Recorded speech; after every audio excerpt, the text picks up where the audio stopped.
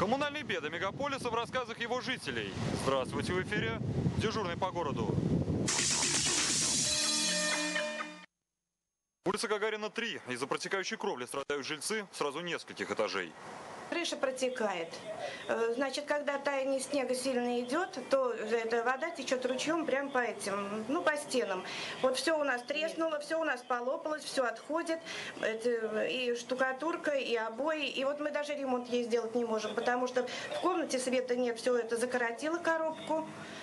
Вот. И вот Между окон. вот между окон все у нас течет. Мы ничего сделать не можем. Звоним в ЖЭУ, у нас, значит, эту трубку не берет, или от, то его нету, только сию минуту вышел, или телефон стоит на автоответчике. Страдает пятый, четвертый, третий, второй. Первый не знаем, но вот до второго этажа протоплено все. А со светом у нас свету не было, значит, там коробка всю замочила. Свет вообще. И тут телевизор не работал. Вообще стена и вся это не работала. Там, а сейчас и там свету нет. Он, потому что по потолку, по-видимому, шла вода там у них внизу. И у меня вот э, там свет не горит. Коробку сделали. Коробка вроде вот холодильник у меня работает, а свет не горит. И монтер сказал, что еще раз, говорит, замочит вот тут коробку. Это уже, говорит, Да, до пожара может дойти. все. Песочный переулок 4. Общественный туалет коммунальщики не обслуживают уже несколько лет. Вот сколько я живу, почти 6 лет.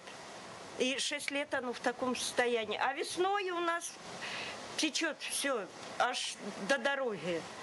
Ну это ж, я не знаю, что обращалась, я уже, я не знаю, куда обращаться. В альтернативу обращалась. И ну, обещают, да, обещают, что да, сделаем. Ну, так тишина.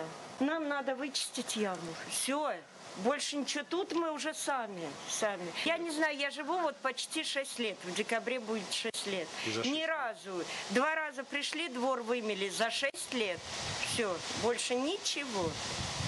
Звонишь им, э, просишь выкачать. Мало того, что в доме нет туалета, и на улице нет туалета. Они говорят, типа, приедем, откачаем, сделаем все, но не приезжать, ничего не делать, никому ничего не надо. А квартплату вовремя плати. Мало того, что еще дома туалета нет, вот так вот. А зимой здесь гора нечистот. Вот остатки вот здесь вот. Еще с той зимы нечистоты по бокам. Вот так закрываем, прикрываемся.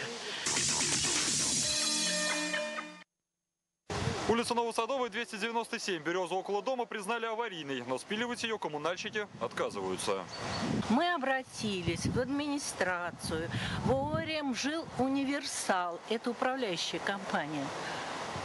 Сказали, пишите заявление. Написали заявление, пришел ответ. Дерево спилено. Ну, как видите, спаны не там. Теперь приходит вот нам ответ, что это не наша территория, не ООО «Ремжил Универсала». Кому она относится? В метре от крылечка и в метре от отмостки. Отмостку делали они. То есть это их территория.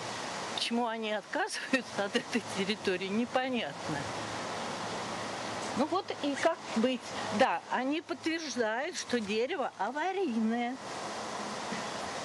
Но спилу не подлежит, потому что у них нет средств. 23 июля мы отправили и- им письмо, прям лично вручили. А 1 числа их ответ от 1 августа, что дерево спилено, аварийное, значит, они подтверждают, что оно аварийное.